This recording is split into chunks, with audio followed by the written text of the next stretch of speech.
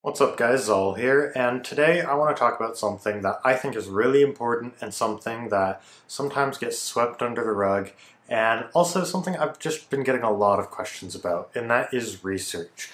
Research is something that everybody seems to talk about, and no one really describes the important stuff about research. So I wanted to make this one video to talk about why research is important, how to get into research, what research is like, is it hard, all the things I can think about in all of my experience doing research, talking to other chemistry and STEM majors about research, and even talking to professors.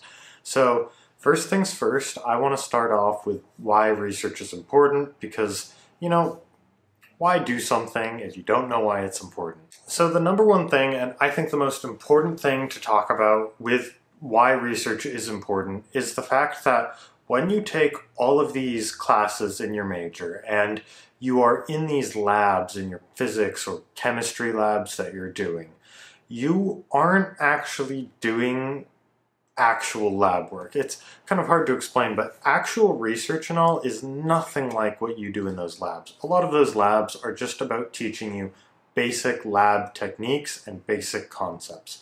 And you're spending all this money and time and effort to get this major, you kind of want to know if you're going to like the career that this major has to offer you. And getting into research is the easiest way to see what actual real world science is like. Taking your classes and doing the labs that are part of those classes is nothing like real world science. And it may turn out that you love your chemistry classes and those labs you're doing, but you hate doing research. And you know, at that point, you might need to consider if a job in chemistry or whatever STEM major you're in is for you because really a lot of stuff, if you're going into a hard science field, is going to be doing research and lab work like you do if you're going to get into research at school. The second most important part about research is having been in research is probably the best possible thing you can do for any application.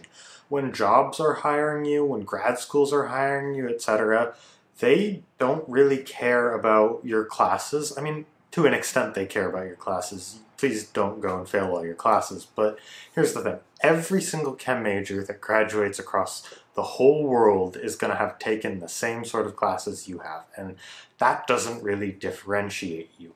What really does differentiate you is if these grad schools where you're going to be doing research or these jobs where you're going to be in the lab all day know that you work well in the lab. And that is what research is. It's just working in a lab. And if you can prove by having been in research for years and maybe even published a paper, which is like a golden ticket, if you can prove that you work well in the lab, you get stuff done, and you can actually work in a scientific environment, that is the biggest possible boost to any grad application or job application, etc. in the future. It basically counts as experience. A lot of people, if they've been in research for years in college, you can mark that down on a resume as years of experience working in a lab, and that is a huge advantage when you graduate.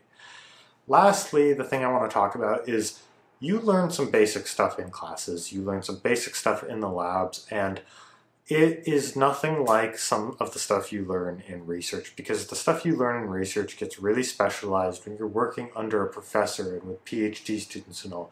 You're learning about their research at the highly academic PhD level and you get a lot of stuff you would never ever learn in classes and a lot of cool experiences and techniques that you do in those labs that you would never touch in a normal undergrad class lab. And this is both fun, fulfilling, and it can really, really give you an edge when you're going out into the real world. So now that I've explained why research is important, I want to get into the parts of actually getting into research and who can do research and all. So let's start off with who can do research because this is a really simple answer, and it is anyone. Any person can do research whether you are a freshman who've just come in and not taken any chem classes, you can still do research. And this is kind of confusing to a lot of people because a lot of people think it's like, I've only gotten through my freshman chemistry classes or my sophomore chemistry classes.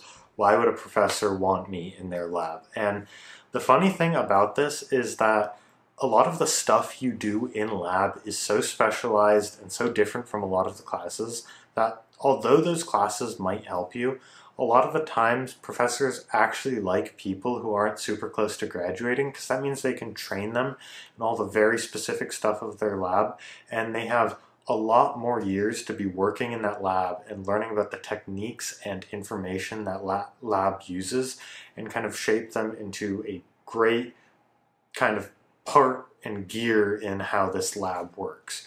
A lot of the times it can actually be harder for a senior to get into a lab because even if they have all this chem knowledge or science knowledge from their major, once they're a senior, it, they're going to have that year of training in the specifics of lab and all that knowledge you learn in classes and labs isn't going to help you and you know they're going to spend all that time training a senior and they're going to immediately graduate. So it's actually a lot of the times an advantage if you're trying to get into a lab or research early as a lower classman so really as soon as you possibly can get into a lab. Not only will you figure out real quick if you like science it also means you can spend even more years working in a lab with a professor, get better recommendations, and learn the lab even better than an upperclassman that's trying to get into research. So now that you know that literally anyone can get into research and you shouldn't gatekeep yourself into getting to research, we kind of get into the how. How do you actually get into a research lab? Because this isn't something that you can go easily sign up on when you're signing up with the rest of your classes or it's listed in your major requirements. And this is way easier and way less complicated than people think. I have done this myself. I've watched plenty of my friends do it. And it is simple as going on your school's website, looking through if they have a list of all the professors and their research topics and labs. Go read through all of those, figure out the labs that interest you, and a big mistake people make is you don't need to do research in your major. I'm actually not doing research in my major. I'm doing research in an applied science department that has a combination of biology, physics, chemistry, and all the STEM majors. You don't have to do research in just your department. And a lot of the times this can be even more fulfilling because you're going to be learning a whole slew of sciences from other fields and meeting other majors. And it's really awesome. So look at any research that interests you. Um, go make a list of the professors that interest you, get their contact information, and it's simple as email them. Email saying, hey, I'm this undergrad looking for an opportunity to get into a research lab. Give them your interests about the lab. Sometimes on their websites, they'll actually list uh, kind of a guideline if undergrads are looking to get to the lab of what sort of information to send them. But do whatever they list first, of course. But it's simple as emailing them all your interest, why you want to be in their lab. You know, talk to them. They'll shoot you an email back eventually, and you know, sometimes a lot of these professors will just have full labs. There's plenty of people already working them. They don't have space. They'll let you know that. No hard feelings. But a lot of the times they'll say, hey, we have a spot in our undergrad lab love to meet you. Um, let's kind of meet up, talk this over, have a little interview, and go from there. And it's easy as that. It's easy as emailing professors about their labs that you're interested in and seeing if they have a spot for undergrad research. Don't let this overwhelm you. Just find your list of professors and email them. So, once you're actually in your research, what's it like and how hard is it? Well, Research can be really difficult at times, but I don't want that to dissuade you because it's not difficult in the same way that classes are. A lot of the times in classes, the difficulty comes from just studying for hours and hours and trying to understand new concepts, while the difficulty in research is much more hands-on. Research, when you're in those labs, you're not just given a procedure to do you're the one making those procedures and you're trying to find out information and you have to figure out ways to solve these problems you're running into completely from scratch. So you could be sitting in this lab, stuff's just not working. You're the one who has to work through a new way to create this procedure and make these samples properly. And sometimes that's just trial and error. Sometimes that's browsing your computer for research papers that have been published and seeing if anyone has done anything similar that you can apply to your lab.